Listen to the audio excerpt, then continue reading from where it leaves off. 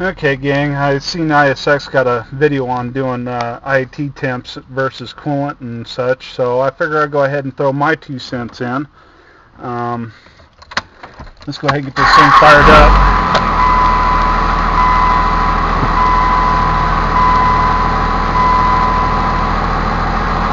As you can see, uh, pretty much coolant temp and manifold temp are both the same.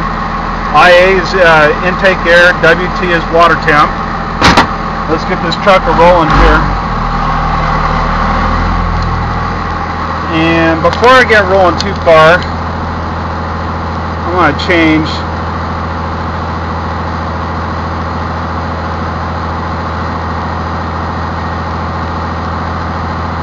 a couple displays here. So you can see a little more info.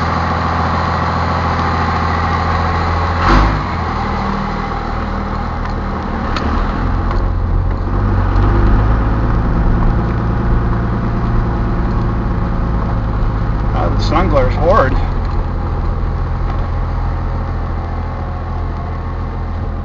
Well, windows see that helps. Tinted windows do help quite a bit.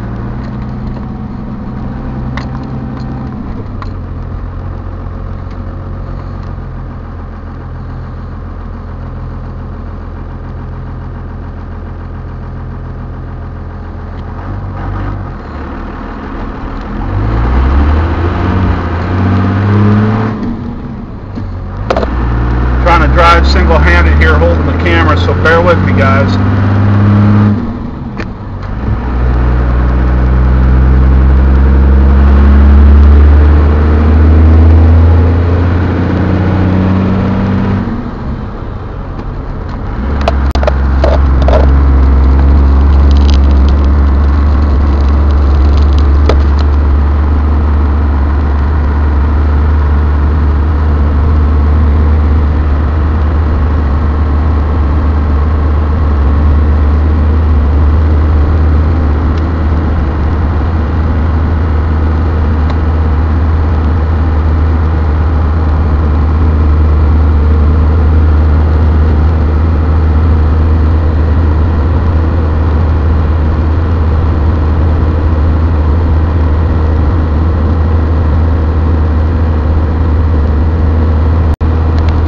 Okay, I want to cut this loose for the moment. I'm going to let this thing warm up the rest of the way and I'll pop the camera back on once I get up here a few more miles. Okay, now I'm completely warmed up. It is roughly 87 degrees out, so the 40 uh, degree offset's just about right.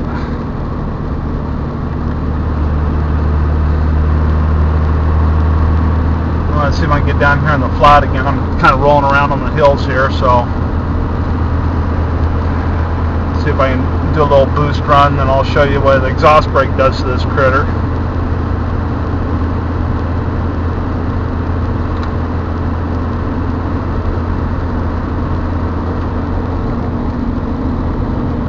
There's the exhaust brake.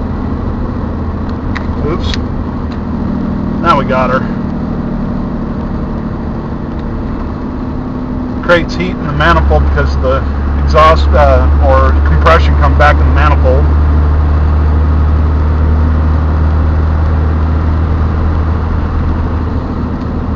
Get down here on the straight. I'm going to lay into it.